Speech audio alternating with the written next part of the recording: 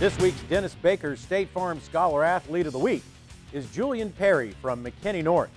Julion, a senior, has been part of the basketball team for four years.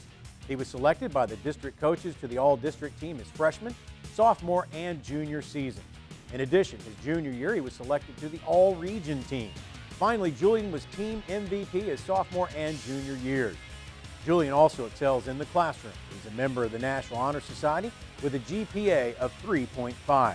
He's received the Academic Excellence Award presented by the McKinney Rotary Club and qualified for the Basketball Academic All-District Team. Julion is also active in the community and his church youth group. He recently signed a national letter of intent to play Division I basketball at Utah State starting in 2014. That's Julion Pearre from McKinney North, our Dennis Baker's State Farm Scholar Athlete of the Week.